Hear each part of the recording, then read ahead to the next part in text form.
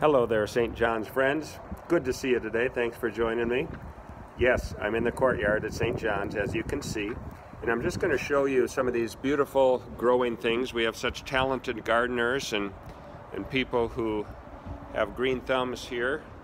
If I can show you, I think a bunch of beautiful lush green hostas are growing these days. And, of course, the beautiful Christ statue in our midst. So, you'll know why I brought you out here in just a moment. Hope you don't get motion sickness with me moving around a little bit, but I want to read to you a devotional reading from an author by the name of Katrina Bradley, who starts out with 1 Peter 5 8, where she says, It's important to lift up this text. Stay alert. Watch out for your great enemy, the devil. He prowls around like a roaring lion looking for someone to devour. My husband and I have never been known for our gardening skills. In fact, our friends have called our yard the Garden of Weeden. So when we landscaped our new home, we called in an expert to help us start with a good foundation to begin. Thanks to him, no weeds sprouted among the tender shrubs and flowers, we were overjoyed until we noticed that the weeds had merely packed their bags and moved to our lawn. Instead of consulting the expert again, my husband took control of the situation himself. A trip to the hardware store netted weed killer and a sprayer. He was almost finished dousing the invaders when I looked at the empty weed killer bottle for the first time. I could not believe what I read. Weed and grass killer. Oh no. A month later, our lush lawn was marred by large brown splotches of dirt, missing pieces of a sod puzzle. For three long years, we watched Bermuda runners creep into the dirt patches, multiplying, spreading, and filling in the gaps.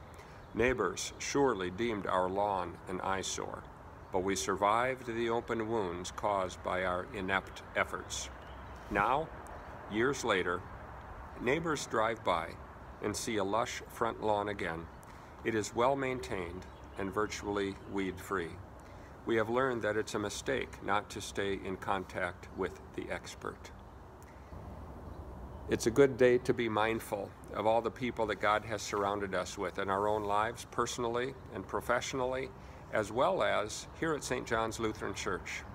There are such talented folks, people with such knowledge and history and institutional memory and professional experience and life experience.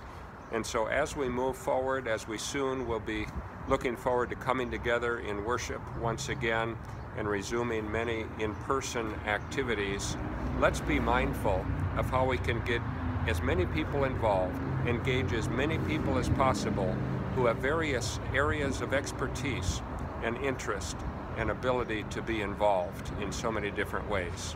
In the meantime, I'm grateful for those who know how to plant and grow things uh, to God's glory and to the benefit and edification of St. John's Lutheran Church.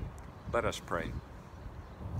Gracious God, we thank you for your word and thank you for helping us to reflect on how gifted you have uh, made us as a church and as a people and as a human race.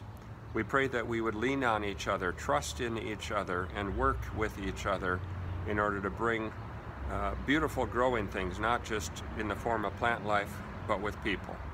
Bless us with your grace and your Holy Spirit of wisdom. In Jesus' name we pray. Amen. Thanks for joining me.